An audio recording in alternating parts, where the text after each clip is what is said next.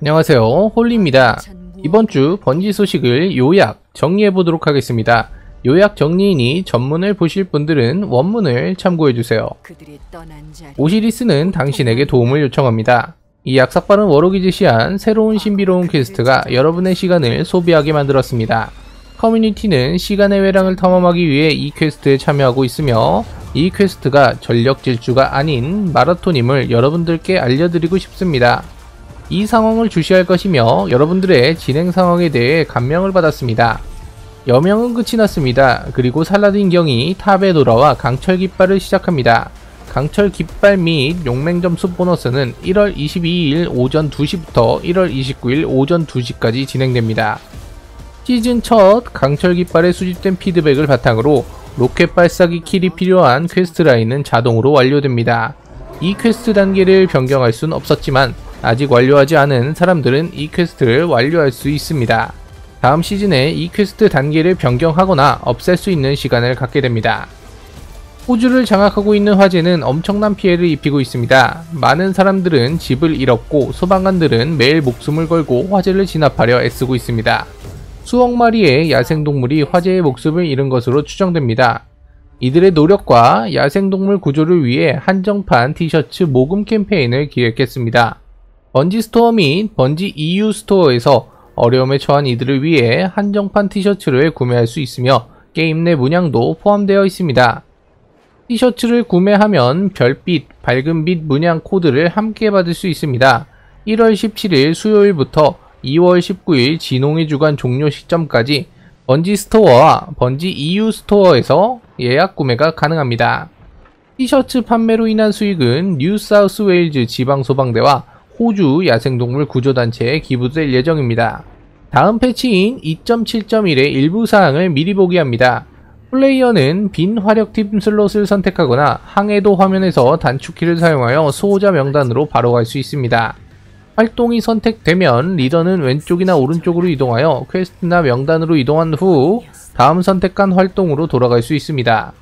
겜비 최고조 무기 위험천만이 광란 1스택과 2스택에서 현재 2170, 2120에서 2190, 2410으로 초당 데미지가 증가합니다.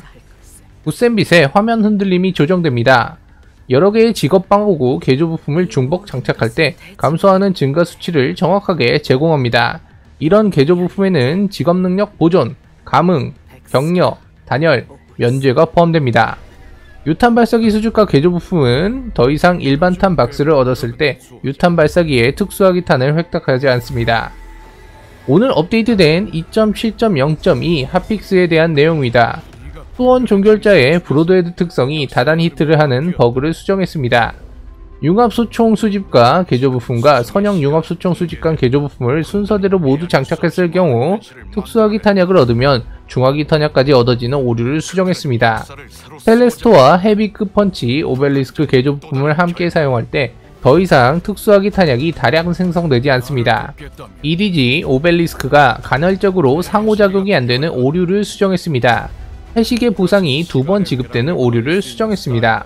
에버버스 waypoint 알림이 비활성화되었습니다. 더 이상 깜빡이지 않습니다. 8시즌 starter bundle을 구매한 경우 9시즌 starter bundle이 더 이상 표시되지 않습니다. 총 제작자 주간 목적지 현상금이 다시 활성화됩니다.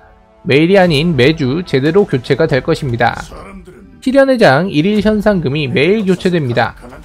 이번 주 초에 에버버스에서 태양 하위 직업 감정 표현이 800실버로 판매되는 문제를 확인했습니다. 현재 이 감정 표현은 시즌 페이지에서 올바른 가격인 500실버로 구매할 수 있습니다. 이 감정 표현을 800실버의 높은 가격으로 구매한 플레이어들에겐 적당한 조치를 취할 것입니다. 알려진 문제사항입니다. 방어구 2.0 초월의 축복 개조 부품이 플레이어의 인벤토리에 나타나지 않습니다. 2단의 구덩이에서 구역을 이동할 때 간헐적으로 캐릭터가 사망합니다. 하지만 이것이 무결점 완료를 방해하진 않습니다.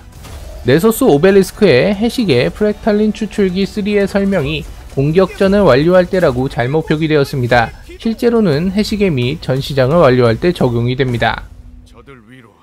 이것으로 이번 주 주간 번지 소식을 요약 정리해보았습니다.